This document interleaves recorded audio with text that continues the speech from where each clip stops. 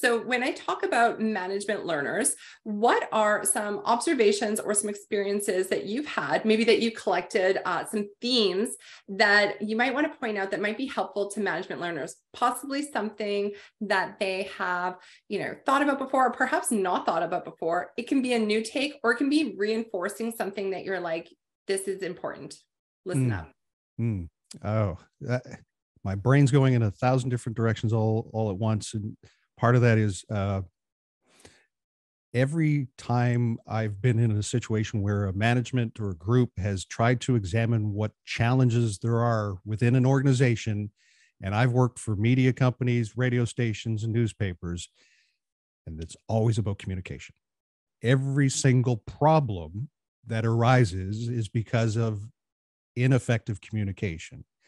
And part of that is there's this propensity to promote and elevate people to positions of management because they did the job or the task really well. Mm-hmm. But yet, when they're put into a different role, they're not necessarily given the same opportunity for growth and learn and and and, and progression because they aren't given any kind of training on what it takes to manage people Mm. It's one thing to manage a department with goals that are clearly defined or sales targets that everyone understands or budget constraints that people have to live within.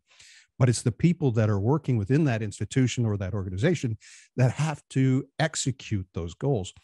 And at one point, I remember not too many years ago, there was this idea no, in order to help move your your employees forward you need to give if you're going to criticize you give them a compliment and you give them the criticism and then you give them something else that's pot oh the shit sandwich. the shit sandwich. Yeah. and that was that was something that was promoted by people who i feel were managers because they did the tasks well and that they didn't necessarily understand the people or perhaps how to motivate and energize the people to reach the goals that they're expected to attain